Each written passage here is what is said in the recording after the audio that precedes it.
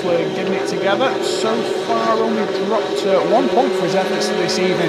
As away goes the tapes then for heat number 15. Alan Mogridge makes the Gators uh, Robbie Kessler's run wide by the Berwick pairing. Locking up is the rider in yellow and black, Adam Pietraszko. But Alan Mogridge takes the lead now. In second place is uh, Michael Makovsky as uh, Robbie Kessler's trying to mount the pressure, and it's a ding-dong battle between uh, Michael Makovsky and Alan Mogridge. Mogridge hooks it up coming off the second turn and fighting off the challenge from Michael Makovsky in this heat.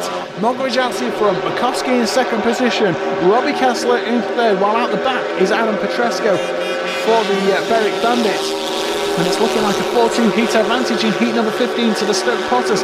If it stays like this, Mogridge out in front, and while Mogridge has ridden his socks off tonight, and uh, well, this will put him on a tally of 11 and 2 bonus for uh, Alan Mogridge this evening if he uh, takes away the uh, checkered flag in heat number 15. A fantastic meeting for uh, Alan Mogridge to uh, take away that tally, including a fall, of course, in his fourth ride this evening.